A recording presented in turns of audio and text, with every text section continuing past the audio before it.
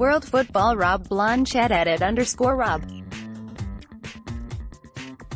Be featured columnist March 25, 2019 ANDREJ Isakovic, Getty Images Raheem Sterling has swiftly responded after members of the England squad reportedly were subjected to racist abuse in Montenegro on Monday, per Tom Morgan of The Telegraph. The Manchester City winger did not mince his words after England won 5-1 on the road in 2020 UEFA European Championship qualifying. Sterling tweeted he was satisfied with the score and directly referenced the haters, who he accused of racism. Raheem Sterling at Sterling 7 Best way to silence the haters, and yeah I mean racists, hear no evil monkey face blowing a kiss.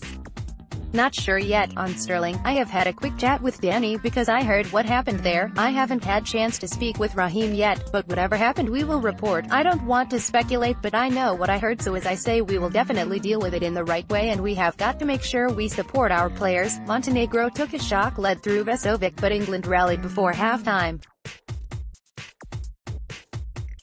Michael Keane and Ross Barkley made it 2-2-1 at the interval and Southgate's men continued to put their foot on the accelerator.